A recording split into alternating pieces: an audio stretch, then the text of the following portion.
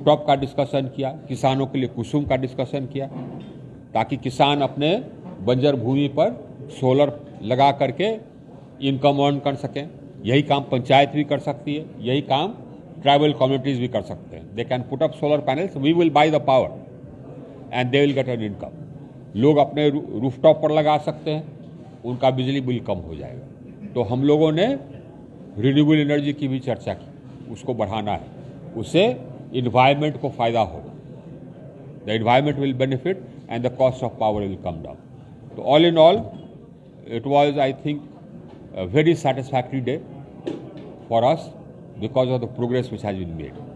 See, basically, what has happened is, throughout the world, you know, all the developed countries have utilized their hydro potential up to 80 or 90 percent.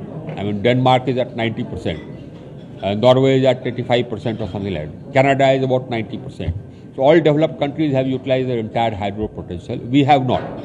We have a huge uh, you know way to go. And hydro is necessary for having uh, renewable energy in large quantities because hydro is used for balancing. But we are going there. We are getting there. So we shall develop our hydro potential.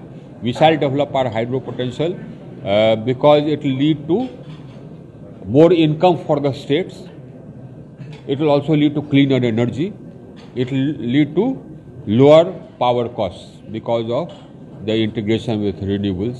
So we will develop our hydro potential that we shall do. इसका progress अच्छा है अगस्त महीने तक हमको लगता है कि उसका 500 अग, अगले साल अगस्त महीने तक उसका 500 मेगावाट शायद ये लोकार्पण हो जाए तो उससे फिर और बिजली की उपलब्धता बढ़ेगी और पावर कॉस्ट में भी कुछ कमी आएगी। तो उसकी प्रोग्रेस अच्छी है। एक और प्रोजेक्ट है दिबांग। तीन हज़ार मेगावाट का अरुणाचल में। तो उसके भी हर्डल सब समाप्त हो गए। अब उसका उसका भी ये निर्माण कार्य प्रारंभ होगा जल्दी ही।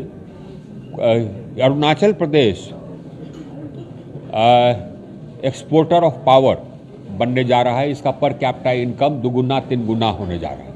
इतना इन्वेस्टमेंट वहाँ आ रहा है कि इसका पर कैपिटा इनकम तीन गुना या चार गुना हो जाएगा। और जो पावर ये वहाँ जनरेट हो रहा है, ये बाहर बेचेंगे तो इनका इनकम पर कैपिटा इनकम बहुत बढ़ जाएगा। लेकिन ये देश के लिए भी अच्छा है।